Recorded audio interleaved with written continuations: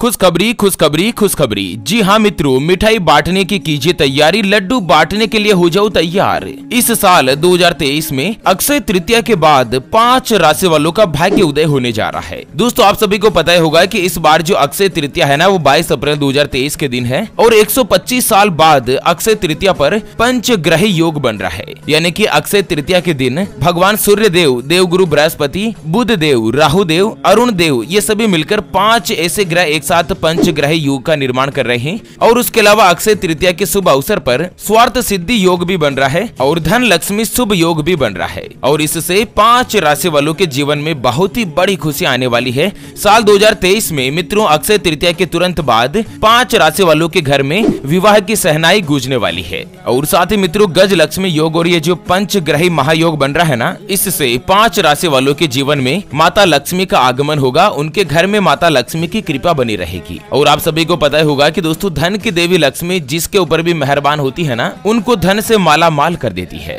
तो चलिए, जान लेते हैं कौन कौन सी है वो सबसे ज़्यादा भाग्यशाली राशियाँ। ऐसे में वीडियो को पूरा लास्ट तक ज़रूर देखिए। और हाँ मित्रों, वीडियो को लाइक ज़रूर करें और कॉमेंट बॉक्स में जय महालक्ष्मी लिखते हुए वीडियो को अपने मित्रों के साथ भी शेयर कर दीजिए, ताकि काम की जानकारी का जो अपडेट है ना, वो सभी लोगों को मिल सके। दोस्तों, आपको बता दें, ज्योतिष पंचांग के अनुसार 22 अप्रैल 2023 के दिन देवगुरु बृहस्पति ने मीन राशि से निकलकर मेष राशि में प्रवेश किया था। यानी कि सबसे नीच राशि से उच्च राशि में उन्होंने प्रवेश किया और इस राशि में 27 अप्रैल को वो फिर से उदय होंगे। अभी क्या है ना कि देवगुरु बृहस्पति अस्त अवस्था में है। और आप सभी को पता होगा की हर साल अक्षय तृतीया का जो शुभ अवसर होता है यह ज्योतिष पंचांग के अनुसार विवाह की दृष्टि से अबूझ मुहूर्त माना जाता है। यानी कि अगर किसी लड़का लड़की का विवाह का मुहूर्त नहीं भी निकलता है ना तो भी अक्षय तृतीया एक अबूझ मुहूर्त माना जाता है और इस दिन लड़का लड़की विवाह के बंधन में बंध सकते हैं। लेकिन इस बार क्या हुआ दोस्तों, बाईस अप्रैल के दिन देव गुरु बृहस्पति अस्त अवस्था में है और जब भी गुरु अस्त होते हैं ना तो विवाह का योग नहीं रहता है। इसलिए इस बार अक्षय तृतीया जो है, विवाह की दृष्टि से पूरी तरीके से खाली है। मतलब एक भी विवाह अक्षय तृतीया के दिन नहीं हो रहा है। लेकिन लेकिन लेकिन इसके ठीक पाँच दिन बाद 27 अप्रैल के दिन,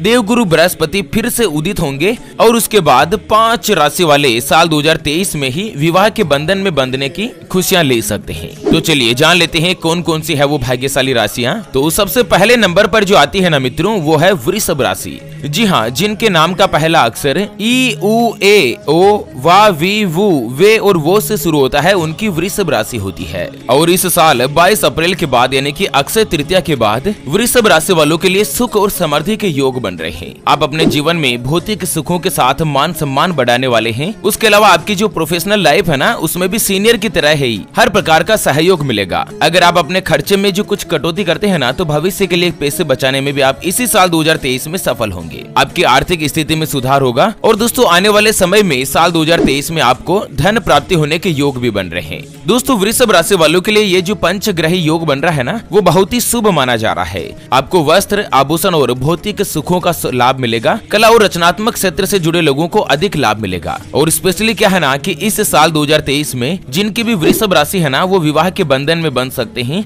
देवगुरु बृहस्पति के आशीर्वाद से यह जो पंच लक्ष्मी योग बन रहा है पंच ग्रह और स्वार्थ सिद्धि योग बन रहा है ना, यह वृषभ राशि वाले जो भी सिंगल है, उनका विवाह करवा सकता है। चलिए जानते हैं अगली भाग्यशाली राशि के बारे में। उससे पहले आपको एक महत्वपूर्ण बात बताना चाहूँगा की हिंदू सनातन धर्म में गाय यानी कि गौ माता में तैतीसी कोटि देवी देवताओं के साथ ही साक्षात माता लक्ष्मी का वास माना गया है। चाहे वेद हो, पुराण हो ज्योतिष शास्त्र हो या फिर भागवत गीता, सभी जगहों पर गो माता की पूजा करने का विधान है। अक्सर जब भी हम घर से बाहर जाते और देखते हैं ना कि यही गौ माता सड़क पर इधर उधर घूमती रहती है, भटकती रहती है और कई बार किसी बड़े वाहन की चपेट में आकर दुर्घटना का शिकार हो जाती है और मारी जाती है। इसके अलावा कई बार गौ माता खाने की तलाश में इधर उधर जाती है, कभी किसी मकान के बाहर तो कभी किसी दुकान के बाहर। कोई भला आदमी होता है खाने के लिए कुछ दे देता है तो कई लोग इनको मार कर दुत्कार कर भगा देते हैं। बेचारी बेजुबान है, किसी से कोई शिकायत नहीं करती। जब पेट में भूख बढ़ जाती और खाने के लिए कुछ नहीं मिलता ना तो सड़क पर इनको जो कुछ भी नज़र आता, जैसे प्लास्टिक, थैलियाँ, जूते, चप्पल, कपड़े, पॉलीथीन, पत्तल, दोने, डिस्पोजल तो ये उनको खा लेती है, और धीरे धीरे ये सभी गौ माता के पेट में जमा हो जाता है। कुछ ही समय पश्चात गौ माता का पेट खराब होकर, बड़ी ही बेरहमी के साथ तड़प तड़प कर मारी जाती है।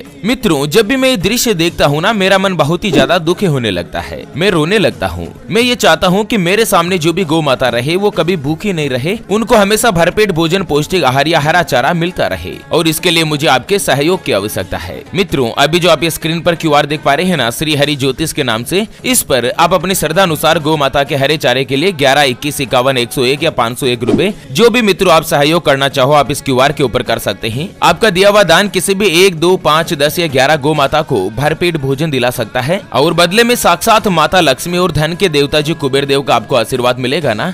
वो आपको इसी जीवन में कई हज़ार गुना लूट कर आएगा और यही कटु सत्य है। चलिए जानते हैं मित्रों, अक्षय तृतीया के बाद दूसरी जो भाग्यशाली राशि रहने वाली है ना, वो आती है मेष राशि। जिनके नाम का पहला अक्षर ला, ली, लू, ले, लो ए चू, चे और चो से शुरू होता है, उनकी मेष राशि होती है। दोस्तों, मेष राशि वालों को हर एक दिशा में लाभ मिलेगा प्रॉफिट मिलेगा। अक्षय तृतीया के तुरंत बाद आप मान सम्मान और पद प्रतिष्ठा में बढ़ोतरी करेंगे। दान और धर्म के कार्यो में लाभ के साथ ही आपकी बढ़ोतरी होगी। धन और स्वर्ण की प्राप्ति का संयोग बनते दिखाई दे रहा है।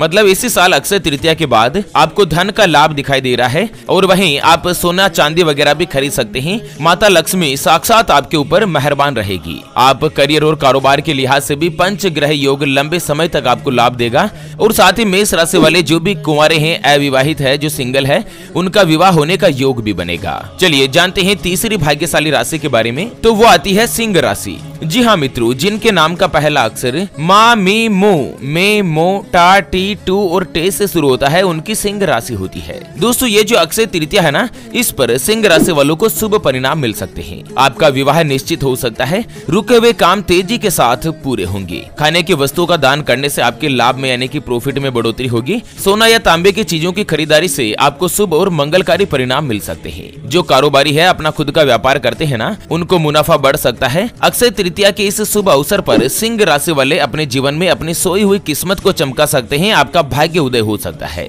चलिए जानते हैं अगली भाग्यशाली राशि के बारे में। उससे पहले आपको एक महत्वपूर्ण बात बताना चाहूँगा कि ज़िंदगी में आप कई ऐसे लोगों से मिले होंगे जो कि बहुत ही ज़्यादा मेहनत करते हैं। तो वहीं कुछ लोग आपको ऐसे भी मिले होंगे जो बहुत कम मेहनत करने के बावजूद भी बहुत ही आगे तक पहुँच जाते हैं। तो वहीं ज़िंदगी में आप कुछ ऐसे लोगों से भी मिले होंगे जो पूरी उम्र मेहनत करते ही रहते हैं, लेकिन आखिर वो हासिल नहीं कर पाते जिनके वो हकदार होते हैं। मित्रों, ये ग्रहों का खेल नहीं तो और क्या है? और इसी के समाधान के लिए हमारे गुरुजी आप तक लेकर आए हैं आपके अपने जीवन के बारे में व्यक्तिगत यानी कि पर्सनलाइज्ड कुंडली, जिससे आप घर बैठे ये पता लगा सकेंगे कि आपके नव ग्रह आपके बारे में क्या कहना चाहते हैं। क्या आपकी कुंडली यानी कि किस्मत में कोई दोस्त तो नहीं? अगर दोस्त है तो वो क्या है? और उसका समाधान क्या है? आपका भाग्य उदय कब होगा? जीवन में आपको नौकरी करनी चाहिए या व्यापार करना चाहिए? अगर व्यापार करना आपके लिए अच्छा है तो किस चीज़ का या कौन सा व्यापार आपके लिए शुभ रहेगा? आपको सुख, संपन्नता और वैभव कब मिलेगा? अमीर कब बनोगे? आपको कौन सा रत्न या स्टोन पहनना चाहिए और उसको पहनने की विधि क्या है? कुंडली के अनुसार आपके प्रधान देवी देवता कौन है? उसके बारे में कंप्लीट जानकारी हम आपको कुंडली रिपोर्ट में बताने जा रहे हैं, जिसको अभी जो आप स्क्रीन पर नंबर देख पा रहे हैं ना, उसके ऊपर व्हाट्सएप पर संपर्क करके आप हमारे ज्योतिष आचार्य गुरु से बात कर सकते हैं और अपने भविष्य की कुंडली के विषय में जान सकते हैं। और हाँ मित्रों, कुंडली बनवाना या गुरु को कुंडली दिखाना फ्री नहीं रहता है, इसके लिए दो सौ की फ़ीस देनी होती है। अगर आपकी कोई भी समस्या है जिसका आप समाधान चाहते हैं, जिससे कि परिवार के लोगों में आपस में बनती नहीं है। पति पत्नी के बीच लड़ाई झगड़ा होता रहता है, या पति पत्नी के बीच कोई तीसरा आ चुका है जिससे आप छुटकारा पाना चाहते हैं। व्यापार में नुकसान जा रहा है, कर्ज बहुत ज़्यादा हो चुका है जिसको आप चुका नहीं पा रहे हैं। घर में धन की कमी बनी रहती है, संतान का सुख नहीं मिल रहा है, या आपका विवाह का योग नहीं बन रहा है। बहुत जगहों से आपके लिए रिश्ते आते हैं, लेकिन कहीं पर भी कोई भी रिश्ता फाइनल नहीं हो पाता। अगर कुछ भी समस्या है तो अभी जो आप स्क्रीन पर नंबर देख पा रहे हैं ना, उसके ऊपर व्हाट्सएप पर संपर्क करके आप हमारे गुरु से बात कर सकते हैं और अपने भविष्य की कुंडली के विषय में जानकर सभी समस्याओं का समाधान पा सकते हैं। चलिए जानते हैं अक्षय तृतीया के बाद अगली जो भाग्यशाली राशि रहने वाली है ना, वो आती है वृश्चक राशि। जी हाँ मित्रों, जिनके नाम का पहला अक्षर ना, नी, नो, ने, नो, या, ये, या, यू से शुरू होता है, या तो से शुरू होता है ना, उनकी वृश्चक राशि होती है। दोस्तों, अक्षय तृतीया, ये जो आखा तीज है ना, वो वृश्चिक राशि वालों के लिए अत्यंत ही लाभदायक, अत्यंत ही कल्याणकारी रहने वाली है। आप वाहन खरीदने का अगर प्रयास कर रहे हैं